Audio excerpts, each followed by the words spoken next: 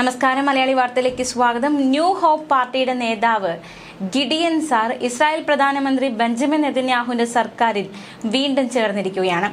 Gideon സാറും നെതന്യാഹുവും സംയുക്ത പത്രസമ്മേളനത്തിലാണ് ഇത്തരത്തിൽ ഗിഡിയൻ സാർ വീണ്ടും നെതന്യാഹു സർക്കാരിനൊപ്പം ചേർന്ന് പ്രവർത്തിക്കും എന്ന ഒരു തീരുമാനം അറിയിച്ചിരിക്കുന്നത്. സർക്കാരിൽ ചേർന്നതിന് ഗിഡിയൻ സാറിനോട് നെതന്യാഹു നന്ദി അറിയിച്ചു. നമുക്കിടയിലുള്ള ഐക്യത്തിന് ഈ തീരുമാനം ഉപകാരപ്രദമാകുമെന്നായിരുന്നു ഇസ്രായേൽ പ്രധാനമന്ത്രിയുടെ പ്രതികരണം. ഗിഡിയൻ സാർ തന്റെ അഭ്യർത്ഥന പ്രകാരം സർക്കാരിൽ ചേരാൻ സമ്മതിച്ചതിനെ പ്രശംസിക്കുന്നുവെന്നും ബെഞ്ചമിൻ നെതന്യാഹു പറഞ്ഞു. ഈ നീക്കം ഐക്യത്തിനും ശത്രുക്കളെ നേരിടുവാനും സഹായകമാകുമെന്നും നെതന്യാഹു വ്യക്തമാക്കി. ഗിഡിയൻ സാറിന് വിശാലമായ കാഴ്ചപ്പാടും സങ്കീർണമായ പ്രശ്നങ്ങൾക്ക് ക്രിയാത്മകമായ പരിഹാരങ്ങൾ കൊണ്ടുവരാനുള്ള കഴിവുമുണ്ടെന്നും നെതന്യാഹു പറഞ്ഞു. രാജ്യത്തെയും അതിന്റെ സർക്കാരിനെയും നിലവിൽ ശക്തിപ്പെടുത്തേണ്ടത് നിർണായകമാണെന്നും ഗിഡിയൻ സാർ പ്രതികരിച്ചു. ഫേസ്ബുക്കിലൂടെ ഗിഡിയൻ സാർ പറഞ്ഞത് ഇപ്രകാരമാണ്. ഇസ്രായേൽ ചരിത്രപരമായ ദിവസങ്ങളിലൂടെയാണ് കടന്നുപോകുന്നത്. നമ്മുടെ ശത്രുക്കൾക്കെതിരായ പ്രചാരണത്തിലെ നിർണായക ദിനങ്ങളാണിത്.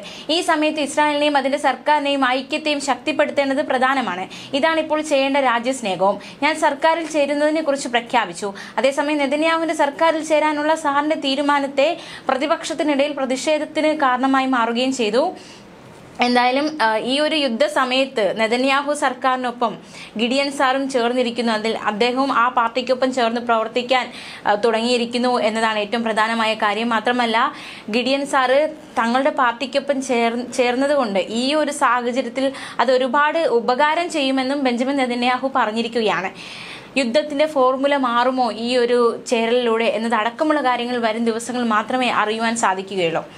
അതേസമയം മറ്റു വാർത്തകൾ നോക്കാം. ലെബനനിൽ ഹിസ്ബുള്ളയെ തകർക്കുന്നതിനുള്ള ഇസ്രായേൽ നടപടി കൂടുതൽ ശക്തിപ്പെടുത്തുന്നതിന്റെ ഭാഗമായി ബെയ്റൂട്ടിൽ ശക്തമായ ബോംബ് ആക്രമണം നടത്തി ഇസ്രായേൽ. ബെയ്റൂട്ടിലെ കെട്ടിടത്തിൽ പുലർച്ചെ ഇസ്രായേൽ നടത്തിയ വ്യോമാക്രമണത്തിൽ നാല് പേർ കൊല്ലപ്പെട്ടു. സംഘർഷം രൂക്ഷമായതിനു ശേഷം ഇത് ആദ്യമായാണ് ബെയ്റൂട്ടിലെ ജനവാസ കേന്ദ്രത്തിന് നേരെ ഇസ്രായേൽ ആക്രമണം നടത്തുന്നത്. ബെയ്റൂട്ടിലെ കോലാ ജില്ലയിലുള്ള ഒരു അപ്പാർട്ട്മെന്റിന്റെ മുകളിലത്തെ നിലയിലായിരുന്നു ആക്രമണം. കോലാ ജില്ലയിൽ ഇസ്രായേൽ നടത്തിയ ആക്രമണത്തിൽ തങ്ങളുടെ മൂന്ന് നേതാക്കൾ കൊല്ലപ്പെട്ടതായി പലസ്തീൻ സംഘടനയായ Popular Front for the Liberation of Palestine പറഞ്ഞതായി വാർത്താ ഏജൻസികൾ റിപ്പോർട്ട് ചെയ്യുന്നു. ഞായറാഴ്ച വൈകിട്ട് ബൈറൂട്ടിന്റെ പ്രാന്തപ്രദേശങ്ങളിൽ ഇസ്രായേലി ഡ്രോണുകൾ ആക്രമണം നടത്തുന്നുണ്ടെന്ന റിപ്പോർട്ടും പുറത്തുവന്നിരുന്നു ബൈറൂട്ടിൽ ആക്രമണം നടത്തിയ ശേഷം ലെബനിലെ ബെക്ക മേഖലയിൽ ആക്രമണം നടത്തുകയായിരുന്നെന്ന് ഇസ്രായേൽ സൈന്യത്തെ ഉദ്ധരിച്ച് ഇസ്രായേൽ പത്രം ഇസ്രായേൽ ഹയോം റിപ്പോർട്ട് ചെയ്തു. കോലാർ ജില്ലയിൽ ഒരു അപ്പാർട്ട്മെന്റിന്റെ മുകളിലത്തെ നിലയിലാണ് വ്യോമാക്രമണത്തിൽ തകർത്തത്. ഇന്നലെ വൈകുന്നേരത്തോടെ പ്രദേശത്ത് ഇസ്രായേലി ഡ്രോണുകളുടെ ശക്തമായ സാന്നിധ്യമുണ്ടായിരുന്നു. ബെയ്റൂട്ടിന് ശേഷം ഇസ്രായേൽ സൈന്യം ബെക്ക മേഖലയിലേക്ക് തിരിയുമെന്നാണ് വിവരം. വടക്കൻ ഇസ്രായേലിന്റെ വിവിധ ഇടങ്ങളിൽ കഴിഞ്ഞ ദിവസം അപകട സൂചന മുൻനിർത്തി ശക്തമായ സൈറൻ മുഴങ്ങിയിരുന്നു. എന്നാൽ ലബനൻ അയച്ച ഒരു മിസൈലിന്റെ മുന്നറിയിപ്പ് സൈറനായിരുന്നു അതെന്നും തങ്ങളുടെ പ്രതിരോധ പ്ര- സംവിധാനം മിസൈലിനെ തകർത്തെന്നും ഇസ്രായേൽ പ്രതിരോധ സേന അറിയിച്ചു. ന്യൂസ് ഡെസ്ക് മലയാളി വാർത്ത.